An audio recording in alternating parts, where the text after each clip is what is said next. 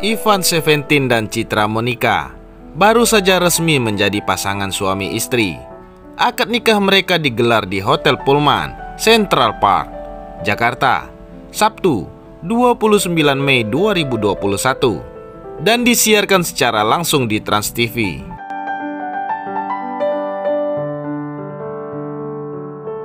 Bertindak sebagai wali nikah adalah Kepala KUA Kecamatan Petamburan Grogol, Mr. Lubis.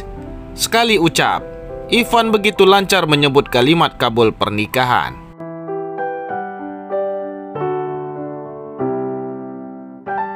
Di pernikahan ini, Ivan memberikan mas kawin berupa logam mulia 40 gram, uang 3.500 dolar Amerika Serikat.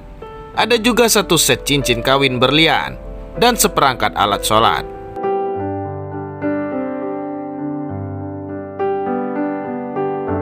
Usai resmi jadi pasangan suami istri, Rona bahagia tampak di wajah kedua mempelai. Sebelumnya, Ivan Seventeen resmi melamar Citra Monica pada 6 April 2021. Acara yang berlangsung di Mecapan, Jakarta, digelar secara tertutup.